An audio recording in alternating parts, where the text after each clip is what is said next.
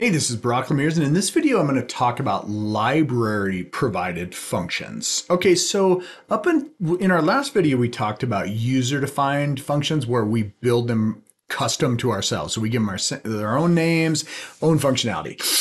One of the biggest uh, powers of the C language is this abundance of functions that have already been written for us. And these, you know, when C started in the 70s, it had a couple functions, right? And then as, as time went on, more and more people developed these functions and provided them within what we call header files for use by us today. And the great thing about these is that they have been tested over decades and we know that they work and it's just awesomeness. Okay. so when we talk about a library provided functions, what we're talking about is was this thing called the standard C library. It's basically all of the specifications of the language. All right. And that that's data types, operation and functions. Now, when you think about C, uh, the way my mind works is there's kind of three levels of functions, and this is one of the the trickier things when you first learn C. especially for me, especially, it was like it was confusing to know like what's just like available to us without having a header file, what's available to us if we include a header file, and then there's even some header files that don't work unless you manually link them. Okay, so th- there's three levels in my mind. So level one is built in without needing headers. So this this is things like you know data types like int float and if else. And it turns out there are functions that we can use uh, that are built in. Level two is is where you include a header file. So we've been doing pound include standard IO uh, in every program we've done. That is because we are using a couple functions in it such as printf and scanf and those are formatted text that you can print to the screen and grab information from the screen. We use those constantly and that's what i think of as a level two is you just include the header file and you compile and it works. Level three is where you do include a header file, but you have to actually put a specific command in the GCC line in order to manually link it. And the one you will run into the most is math.h. That one you'll do constantly. All right. There's so many functions, it's impossible to cover them all. Okay. It would take a year of videos to go through every single function. And really, it wouldn't be effective because the way that you typically learn functions in C is you learn a little bit of the most common ones, and then you just learn where to learn about the rest of them. And so, what I always think is that if you ever run into a situation where you're like, man, I wonder if there's a function to like compare these two strings or these two pieces of text the answer is probably yes. So you should go out and see if that function exists. It probably does. And then you can research how you un- or how it works and the input arguments and everything tons of resources online, tons, just overwhelming. But one that we've kind of found that's pretty good is Tutorials Point C programming. This website tends to be really good about just being straightforward, well organized, and not overwhelming with the information, the way it presents it, but it does have all the information. Okay. All right. So let's code along here. what I'm going to do is I'm going to play around with a couple of the built-in functions of C. So I'm in my, I'm logged into the Linux server right here and I'm in my home directory. I'm going to change into that mod 07 code along folder we created in the last video. So I go ahead and do that. And then what I'm going to do check a look in here and it's like, there's my other little program files I was messing with. I'm going to create one called headers.c. So I'm going to say vim headers.c and now I'm in I'm sitting here in a new program file. So I'm gonna go ahead and start this up. So I'm gonna say playing with headers. All right, so let's go ahead and let's go ahead and not even do a pound include yet. Okay. Uh, so I'm gonna say int main void and then open curly return zero and then uh, close curly. Go ahead and save that little buddy. And then here I am. Okay. I can come in here and I can do um, int and then say a, and then all that works. Okay, so if I compile that, it will compile and everything is cool. Okay, so if I'm down here, I'm gonna change into my mod 07 directory. Here's the file. Oh, I'm in. Let me go to that.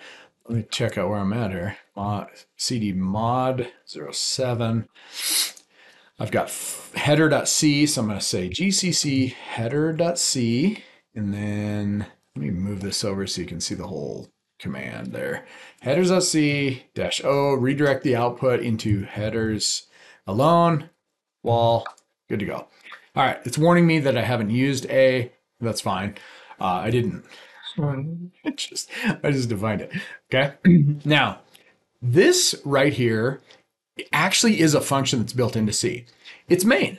So think about main right now. Main has a unique name.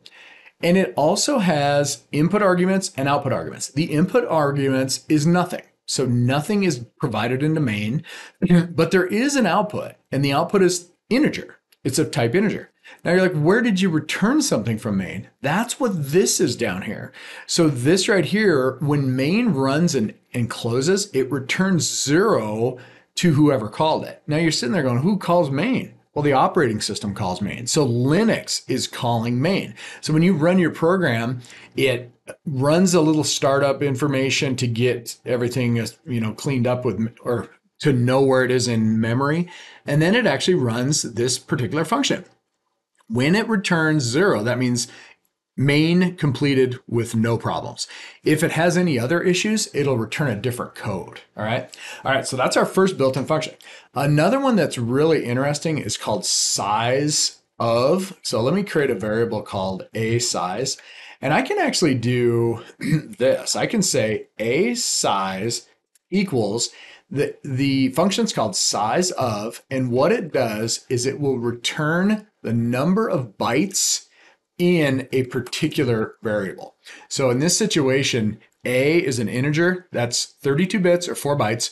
This will return 4. It's going to return a decimal or an integer number of the of the size of the variable. Okay? So now if you wanted to print that, so notice that that works. So if I save that and I'd compile it, I come down here and I'm like compile, it's it's complaining that a size wasn't used, but it, it works, right? It's just that you can't see what's going on.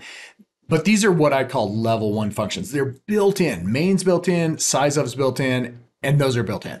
Now here comes level two. All right. Level two is where you're like, I need to put in some header files. So I'm going to do pound include and I'm going to do standardio.h and that will now allow me to use a printf function. Okay. So now I come down here.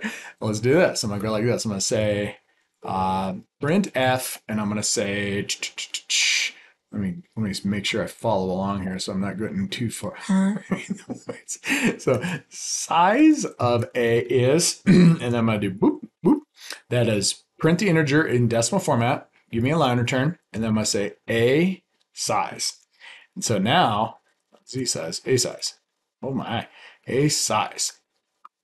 All right, let's see what happens. So I compile it up run it. Oh, I gotta run this thing. So I'm gonna do dot forward slash, meaning look in this current file, not in in this, not in the Linux path, and look at what I get. Size of A is four. Now that is sweet. That's four bytes. Let me do this with wall and see what happens. Same thing. Life is good. All right. So that is cool. this is level one and this is level two because level one's built in. Level two is essentially including the header files, but GCC knows what to do with it. All right. Now, this is where you start going, well, printf was in there. What else was in there? Well, you know scanf was in there. And it's like, what else was in there?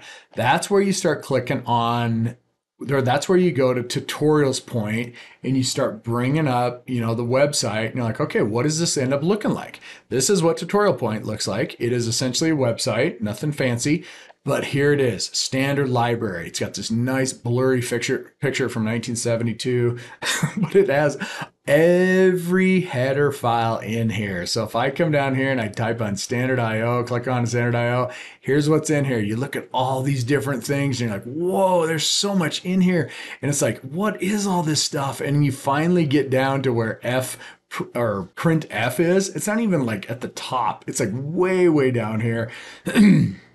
It's not even there. It is. Okay, so it's way down here, and what it does is it takes a constant and it gives you the information on it, and you can basically click on it and learn about it. So that's tutorials point right there. Okay. All right, life is good. It's also got lots of other functions. Some of the ones we'll learn in this class are f open, f close to, to basically edit files. And we'll also do some uh, string operators. Strings are basically a, a, group of text. Okay, so that's the standard IO uh, header file. Another one that's very common is standard lib. Uh, that stands for standard library. That's got some conversions between ASCII to floating point and ASCII to integer. It's got some memory allocation operators that are really interesting in there. And it's got a couple math operators. Totally random that it's in here uh, as opposed to math.h. But you can remember this because it's got a RAND function called random. So I always found it was random to have the random file or the random function in standard library instead of math. But then you've got string.h. This is going to be where we'll learn about strings in a different module, but you basically have characters that are lumped together in, into what we call an array. And there's a bunch of operations that you can mess with that. And there's, there's, need the operations are needed because strings basically represent the way we communicate as humans. It's all ascii text. So we don't tie we typically talk in sentences and we write in sentences. And so there's a bunch of different functions that sit in here. All right now let's go to level three. Level three and the only one you need to worry about with level three is the math.h function okay? So math.h is a header file and they're all called header files like standard IO, stdio.h, they're header files. You can also hear them called library files, but I don't know even know what the technical thing is. I think library represents everything that's in there, and a .h file is technically a header file, but a lot of times you hear people use them interchangeably. But I want to show you this. I want to go in here and I'm going to do pound include, and I'm going to use the math.h. Okay, so the compiler recognizes it and everything's fine, right? So like I come down here and I'm gonna GCC this thing and, and, everything's great, okay? And I can even run this. So if I go to run this thing, it's it still works, right? Everything's still working. So here's what happens though. If you call a function that exists in math.h, the compiler actually won't know what to do with it because it's Math.h is not automatically linked within GCC. so let's do let's do one of these, okay? There is a function in here really simple called square root. So you you give it a, a number and then it, it returns the square root. So let's let's call that. So I'm gonna come down here and I'm gonna go get down here and we'll so come down here. Let's do it double. Uh, and let's do let's call it B and then we'll go, uh, it's 3.14, okay? And then we'll do another double, and we'll call it uh, square, okay? All right, then I'm gonna do this. I'm gonna go square equals square root of b. That is a function straight out of the math.h. Now, how did I know that? I went to tutorials point and I found it and I learned how to use it. Okay, this one's really simple because it just takes one value. Now, watch, what I'm going to do is I'm going to say printf and I'm going to say square root of b is, and then I'm going to go ahead and put a format specifier for a double, which is long float. And then I'm going to do a line return, and then I will print the value of square. All right, so now I'm using a function out of math.h. So I'm going to come down here and I'm going to go ahead and GCC this.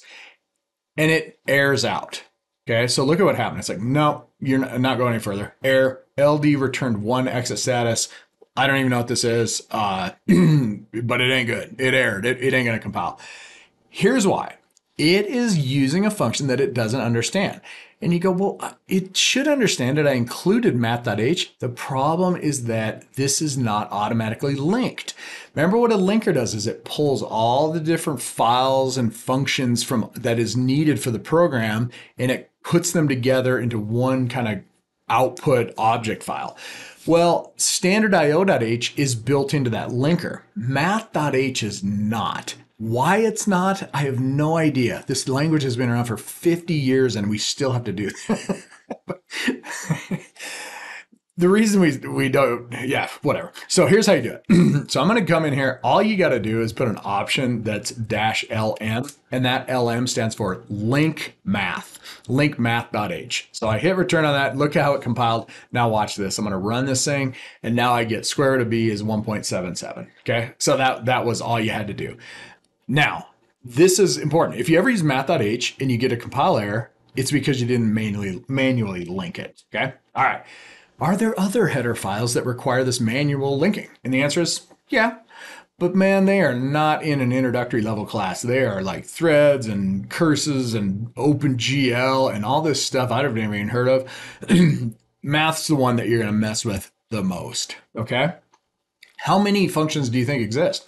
There's so many, I don't even know them all. I just know that I need to know where they are and how to access them. So I go out to the tutorials point and I just say, anytime I ask myself a function, I need to do a task. Should I write my own function or see if one exists? It go see if it exists because more than likely it does. And that is library provided functions. All right, see ya.